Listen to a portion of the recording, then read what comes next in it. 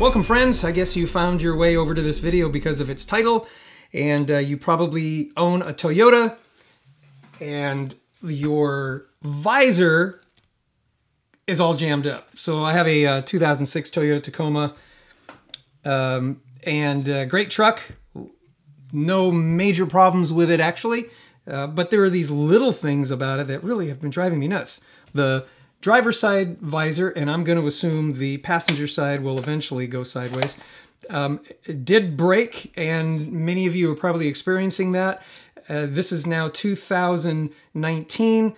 It's a 2006, so it took a while for it to come, at least in my case, took a while before it uh, materialized. But I've also noticed that there are some other people out there that have experienced similar problems, and I figured I'd show you what I did to solve the problem. All right, so I took a took my handy dandy knife, sliced open the uh, the fabric because that's the only way to get that out, and the clamshell just kind of comes apart fairly easily after you've done that. Then uh, the uh, the real problem here is there's this little piece of plastic that can you see that? Mm, probably not very clear, but anyway, a little piece of plastic that should be right in there. Oops, it should be right in there like that. And uh, that plastic is the only thing keeping this thing from, you know, swiveling around. This little piece of metal has got a spring inside that uh, allows the visor to spring out of the way, uh, spring down, or spring up out of the way when necessary. And over time, that piece of plastic broke, it's done. So I've taken my handy dandy drill, and I've drilled through the back of this thing, just like that. Can you guys see that? Do we need to open up, make it a little lighter? Let's make it a little bit lighter, shall we? How do we do that? Just like that. There you go. All right, and then we focus in. Anyway, um, right there, I take and the uh, uh, drill the hole. Actually, I drilled the hole from this side first while everything was in place. Drill down inside of there. Found a screw that'll fit. I uh, will come through, do this, put a washer and a nut, and in my test, it worked fine. So right now what I'm going to do is I'm going to cut this uh, uh, screw down so that it's very, very flush. There's also a little piece underneath here that's right in there. You're going to have to get rid of that as well because it's going to be in the way of the screw, even no matter how short you make it. As you can see, I marked it with a Sharpie, how long it needs to be. I've got uh, my handy dandy pliers and they're, uh, they're also cutters.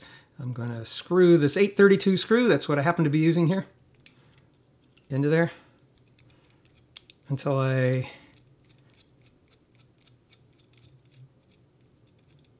get into there and it should be right around when you don't see it anymore it should be right in there. Give it a squeeze. There you go Okay, should be at the right length. Oh, there's my black mark. I guess I'd better go at it again. Doggone it, didn't make it short enough. I don't want it too long because it will be a problem too long as well. There you go. Don't want it too short, then it doesn't fit. There you go. Oh, hey, that looks good. Put this through here, pre-drilled hole. There, it just pops out just enough. Gonna put my washer on. I noticed earlier that uh,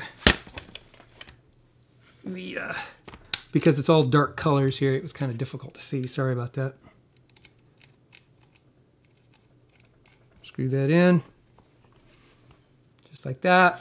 Take your handy dandy screwdriver. Sorry that I'm not taking time to focus. There you go. It's screwed in. It's as flush as I can make it. Now I put a washer in there because there's this little groove that you saw in the previous picture um, in that metal and this washer and nut are going to put tension and keep that thing down. And technically, now, if I can do this for you on camera, there you go. And it's it's uh, got plenty of tension. So it ain't going anywhere, folks, at least not for now. If anything, the whole thing's going to break. But I'm too cheap to spend $100 on a brand new one from Toyota that and then I'm going to have to believe them that they actually fixed that problem otherwise it's just going to happen all over again so that's what I got I'm not going to go buy a $29 one from China um, you know it's just going to go sideways in another way probably that's how I fixed it in a few seconds I'm going to throw it all together and show you how it looks all back reassembled. By the way, these are the parts that got broken. Just throw them away. Just like that. Oh yeah, don't forget, this little piece of plastic right there, gonna have to lop that off so that the nut here doesn't bang up against it, because as it is, it's going to. After clipping that off, it fits in there really well. Um, yeah, let's get that back that way. I'm gonna take some fabric tape, which is very sticky. Uh, some of you may know it as gaffer's tape. This is not duct tape.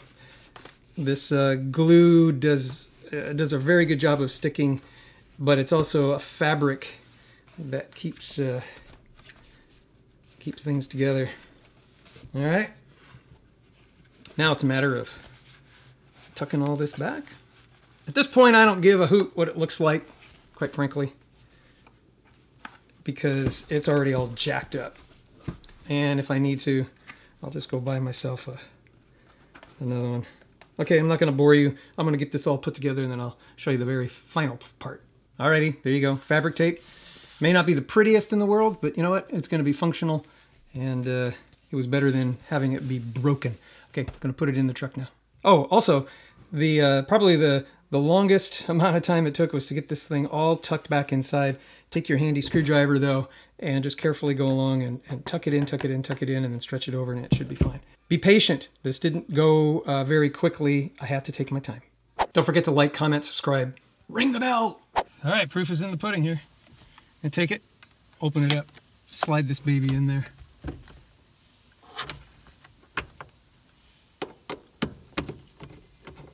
You know, it would be better if it wasn't 110 degrees in the Texas heat today. There's another screw that goes in there, but I'm not going to do it quite yet. There you go. How do you like that? It works. All right, put that screw in there. You got yourself fixed. Got to put a little tape here. Who knows how long that tape's going to hold. Uh, it's very hot and it just may end up uh, giving way. I'll have to find another kind of adhesive or maybe just hot glue would work uh, just as good. But there you go. It's working now. I got to find my other screw, screw that in, and I'll be done. All right, there you go. If you have any questions, leave a comment down below. I guess it's kind of like down here somewhere. Leave comments. I'll be happy to answer them, try to help you out if you still have any troubles. All right, see you guys later.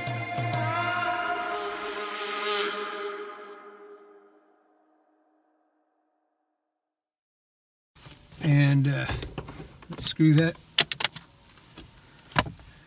all right, well, there you go. They went into the abyss.